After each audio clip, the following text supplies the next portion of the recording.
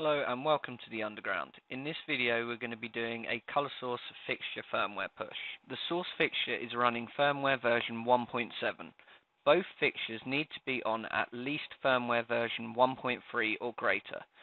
To start, boot up the source fixture while holding the up and down arrows together. This will boot the fixture into download mode. We now need to plug the two fixtures together running out of the source fixture using a standard 5-pin DMX cable and into the destination.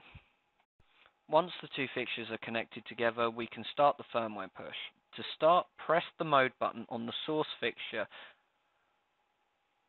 See how the second fixture boots into download mode. The firmware push has now started. This could take around 10 to 20 minutes.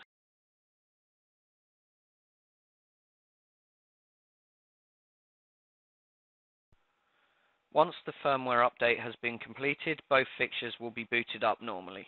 Thank you very much for checking out this underground video.